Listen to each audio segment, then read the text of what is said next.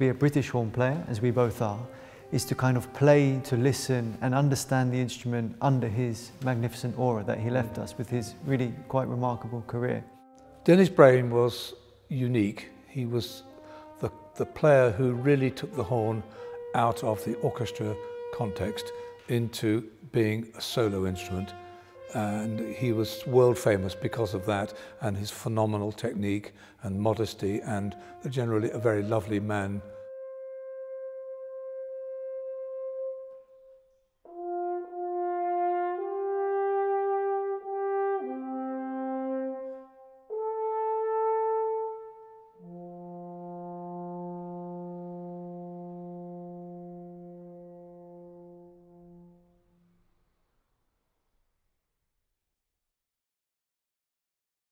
Hello, Ben. Good afternoon, Tony. This is lovely to be here and in this beautiful building of St Mary's Church in Ashwell, and we're here to launch the album project uh, that you've been recording.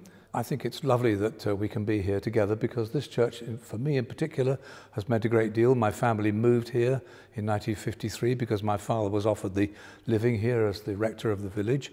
And um, uh, we, my three older brothers and myself and uh, used to sing in the church choir just down there, and my mother played the organ.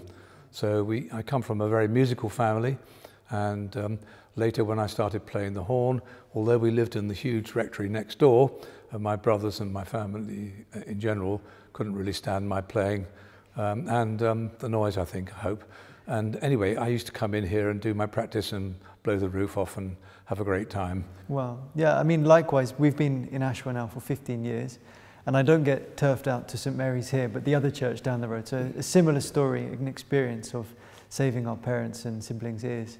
but yeah, I'm delighted to be here in the church to, to launch this album, which is a very special one to me, very special one to you, I understand. Yes. Um, Dennis Brain played a, a, huge influence in all of our lives as horn players. Indeed. So I, am really thrilled um, to have this opportunity from the Guild of Horn Players. What have you entitled it? What's it called? So the title of the album is Legacy, a tribute to Dennis Brain. The idea being, of course, that 2021, the 17th of May 2021, is his centenary. Um, and to be a horn player, especially to be a British horn player, as we both are, is to kind of play, to listen and understand the instrument under his magnificent aura that he left us with his really quite remarkable career. And in putting together this program, I wanted to encapsulate the legacy that he left. Um, so as such, we have two pieces by composers he worked with, uh, Sir Malcolm Arnold and Benjamin Britten. Two pieces that were written in his memory, the Francis Poulenc Elegy for horn and piano, and a rather quirky fanfare salute to Dennis Brain by Sir Peter Maxwell Davies, which was written for the 50th anniversary of his death. And as we both know, as many people will know watching this, Dennis Brain was an incredible pioneer for the horn as a solo instrument, um, especially with regards to new music. And in this vein, along with the Guild of Horn Players, we commissioned two marvellous new works by Roxana Panufnik and Huw Watkins. Sounds like an amazing variety and very interesting to listen to. So Ben, let's talk about the music, shall we? Um, you're starting off with Malcolm Arnold's music. Um, I gather that uh, it's the fantasy. Yes, absolutely. Right. Um, it's worth mentioning, of course, that the fantasy was written in 1966, so impossible to have been written for Dennis Brain, but they had a wonderful collaboration, uh, a wonderful friendship, which I believe was formed in the London Philharmonic Orchestra when Malcolm Arnold was a trumpet player, first trumpet. Principal trumpet, yes. First trumpet. Um, and he wrote his second horn concerto for Dennis Brain, another wonderful work.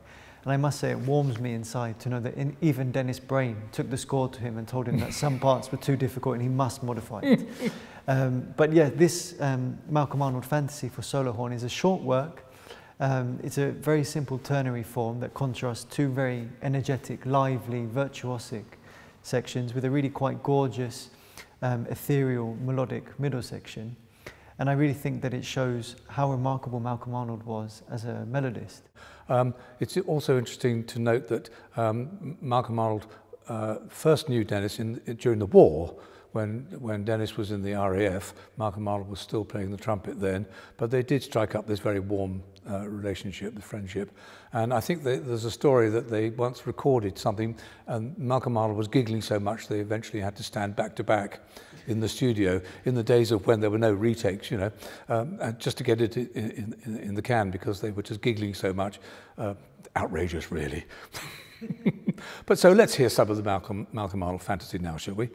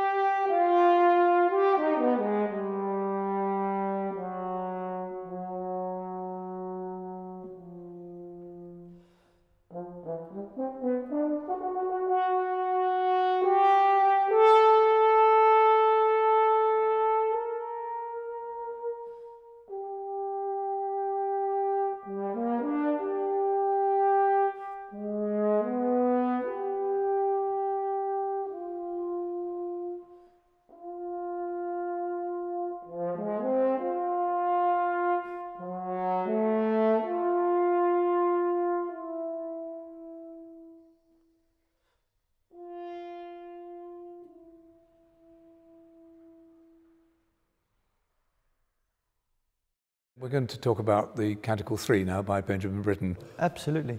Well, as you say, this is Canticle number 3, and, and that's number 3 of 5 that Benjamin Britten wrote for various small chamber ensembles. And this third canticle was premiered at the Wigmore Hall in 1953 with Dennis Brain playing the horn, with Benjamin Britten on the piano and Peter Pears as the tenor.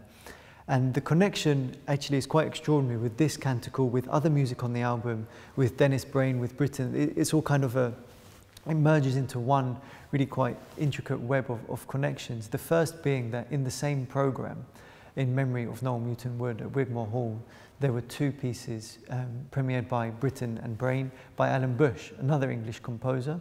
And it's actually part of our plans with the Guild of Horn Players and Three Worlds Records to record these two previously unknown works later on this year.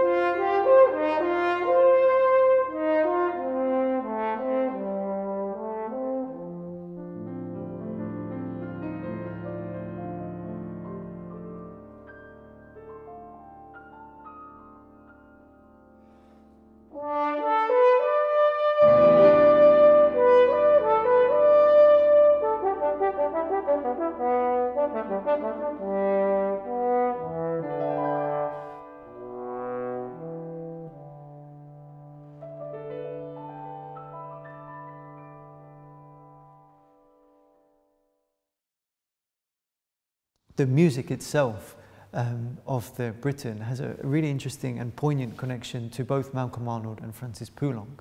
Of course, both were writing in the middle of the 20th century, a time where, especially in Germany and Darmstadt, there was a big trend of serialism that all three composers rejected. But what's very interesting about the Britten and the Poulenc, for example, is that in both introductions, the composer introduces all 12 tones of the chromatic scale without any repetitions, which is the essence of really? serialism. So really wow. interesting connections there. Back to the Britten, the piece calls for a tenor as well as the piano. And it was a huge joy to be joined by James Gilchrist and Huw Watkins for this yeah. recording.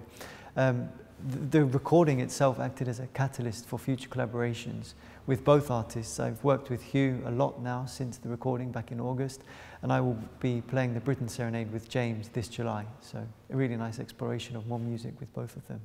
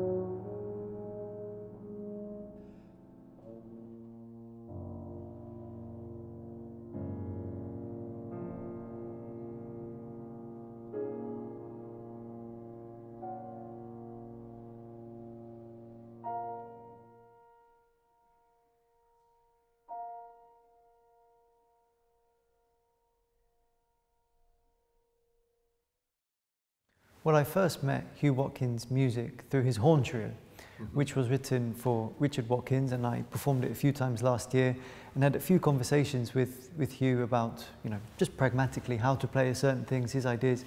And so when I had the opportunity to commission him, it was an extremely exciting thing for me because it was really my first major commission of a major composer. Mm.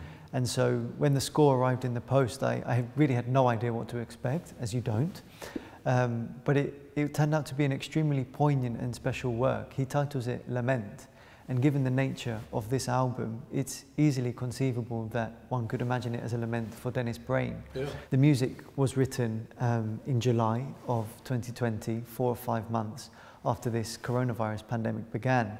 And it's a very interesting um, example of how musical material and the composer's life are connected. And he, of course, had the Poulenc Elegy in mind because I told him what the album was about. Mm. And somehow, through the lament, he's managed to encapsulate loss for all things, not just for one particular case. And I think that that's a really remarkable thing to, to capture in music. And the work itself, therefore, again, is framed by two really beautiful flowing melodic passages. And, and in the center of this you really have two very anguished uh, climactic moments at the top of the horn's range. Um, and, and, you really feel like you do in the Poulenc elegy this anguish um, pain. pain pain exactly mm, pain yeah. through music. And uh, uh, it was an incredible honor to explore this with him playing the piano. Gosh wonderful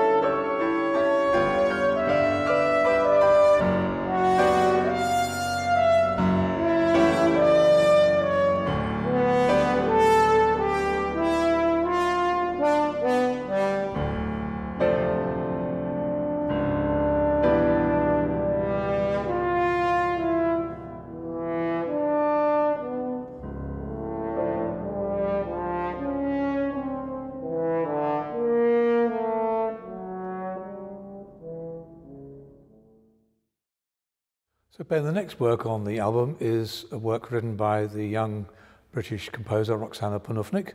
Can you elaborate on, tell us about the work and uh, how it came about and your relationship with her, the friendship you have? Absolutely. Well, this whole album is about connections, personal connections, musical connections, and there's a very nice connection here between myself and Roxana because I began the horn at the age of nine as a result of a lung condition I developed, bronchiectasis. And to this day, she remains the only person on planet Earth that I know personally with the same condition. So by the magic of social media, we've actually been in touch over the last five or six years, sharing advice on which vitamins and all that nonsense to take. And when I had the opportunity to get something written for this album, I immediately approached her because I was a huge fan of a trombone piece that she had sent me a few years ago. And what she has done is a really remarkable transcription slash arrangement of three songs that she had. And she's put these um, for horn and piano, uh, specifically for this album, and we are about to hear a full performance of that now.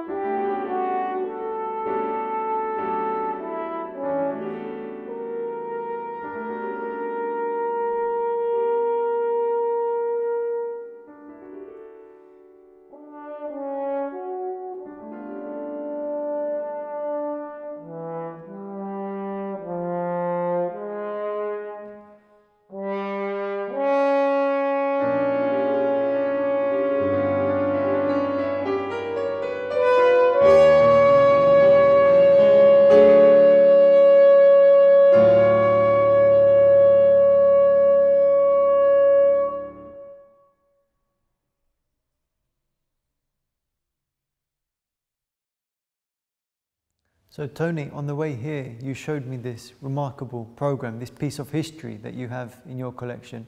Perhaps you could explain a, a little bit about it and talk about Dennis Brain, what he did for the horn, his legacy. It's a privilege to do that, Ben. Yes, thank you. Um, Dennis Brain was unique. He was the, the player who really took the horn out of the orchestra context into being a solo instrument and he was world famous because of that and his phenomenal technique and modesty and general, generally a very lovely man. I sadly didn't know him. I didn't start playing the horn until two years after he died. But I mean, I have been told by many, many uh, older horn players that he was a joy to work with. And he came from a, an incredible legacy, really, with his family. His father um, uncle and grandfather were all very distinguished horn players. Um, and um, Dennis Brain just, he, he really got that sound into his head of the, the, old, nat, uh, the old French horn in F. We don't use those anymore, except the people who are interested in original instrument uh, music. Uh, but we play on modern instruments. And, and he he produced a tone and a musicianship which was so special. And it was never showy about him. It was always about the music. And if I may say so, Ben, I see, I feel that, that you have an affinity with this. I think you have a connection. That's very kind. well, that's, that's my humble opinion. Thank so you. So there you go. But that's the program. Yes, do have a look. Thank you. And if I understand correctly, this was the penultimate no, the final concert. It was the very final, final concert he gave final at the Usher Hall in Edinburgh. With his signature. Yes. Incredible. August the 31st, 1957, and he was killed at six o'clock the following morning in Hatfield, on almost back home in London. Composers did write works in memory of him, uh, one of which, of course, you've mentioned already, was the Poulenc Elegy. Would you like to just um, tell us a little bit more about why Poulenc wrote it and who gave the first performance? Well, the Poulenc, to my knowledge, was premiered one year to the day after um, Dennis Brain died, so in 1958. And the, the first performance was given by Neill Sanders, uh, but Dennis Brain's second horn in the Philharmonia for about seven years. That's correct. So one can only begin to imagine what an emotional experience that must have been. The work itself is incredibly emotional, as we were discussing. It kind of manages to encapsulate an extraordinary feeling of anxiety and angst. And, and what the composer manages to do is contrast these extremely violent outbursts in the horn and piano, almost kind of military-like aggressive music, mm -hmm. with these moments of tranquil, ethereal beauty. And uh, I believe there's one passage towards the center of the work, a, a, really kind of dissonant chord after rather violent, impassioned music, which is supposed to signal um, or kind of personificate in some way then his Brain's crash, you know, ultimately. Yeah. And that, of course, in itself is remarkable, but then what follows is just the most kind of simple music. And, and these kind of connotations I find really remarkable in a work that is in memory of somebody. Mm. Mm. It's all about what could have been after afterwards, yes. Yeah, I mean, for me, thinking about Dennis Brain, he's been my focus now for the last few months. And it's just ended up being an endless question of, of what ifs.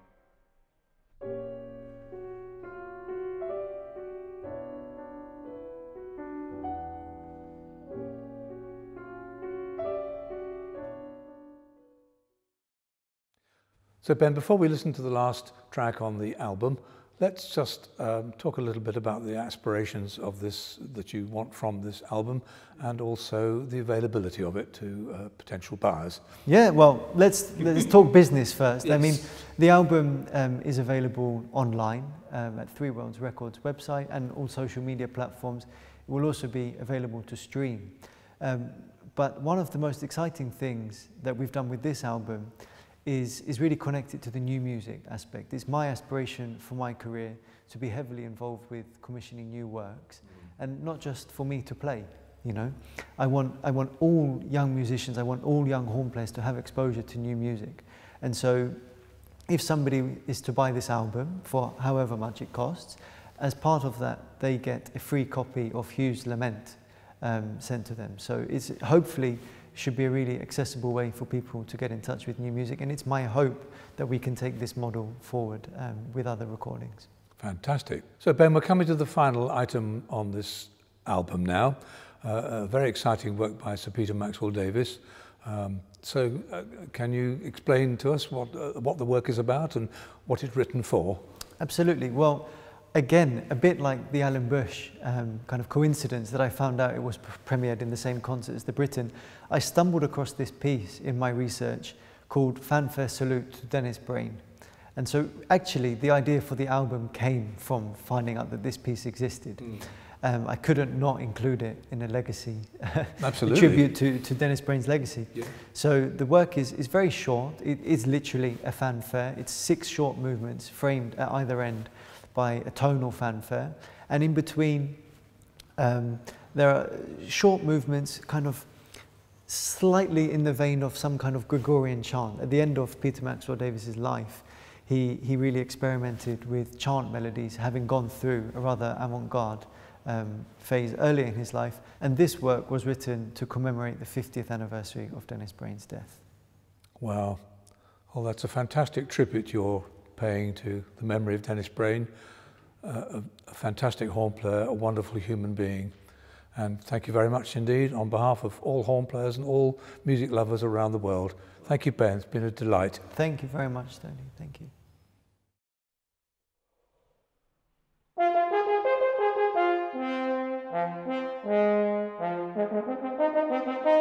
you.